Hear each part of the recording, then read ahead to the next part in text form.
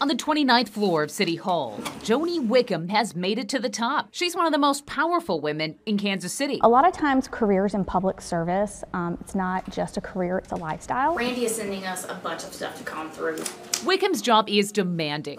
She's chief of staff to Kansas City Mayor Sly James. If we have a snowstorm, I'm usually on the phone with the city manager and the mayor at all hours of night. Wickham is also mom to five year old Vivian, trying to find harmony between work and home. It can be a struggle for some women, a lot of women, me included, to figure out how to strike that balance. New research looks at those challenges, which are sometimes keeping women out of jobs in their city or county. Women are supporting women. Wendy Doyle says there's been little research on women in local government until now. The Women's Foundation works to get more women appointed to boards and commissions in cities everywhere. We're doing our part by starting a little before the step of thinking about, you know, asking someone to run for elected position and trying to build that pipeline. It's called the Appointments Project and makes the case that government should represent the people. Just brings diverse opinions to the table and really helps make good, sound decisions for everyone. Kansas City was the pilot project in 2014. Back then, women made up just 35% of board and commission seats.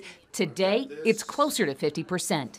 It's that progress that has Wickham planning for a future that more often involves women's voices too. Sometimes it's easier um, to aspire to be something when you can see someone who has already done that in front of you.